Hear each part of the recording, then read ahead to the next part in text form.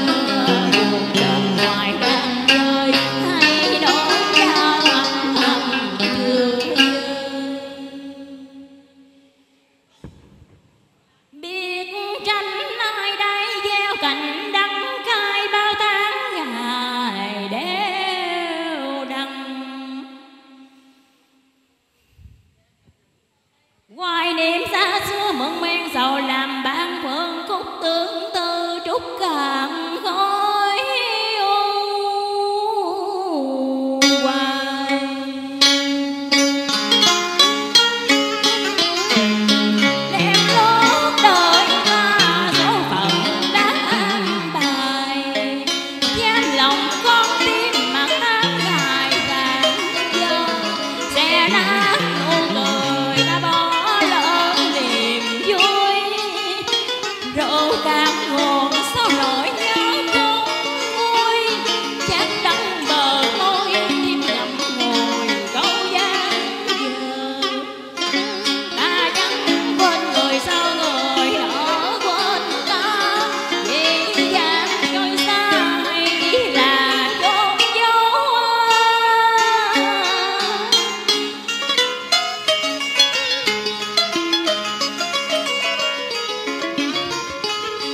Thank you.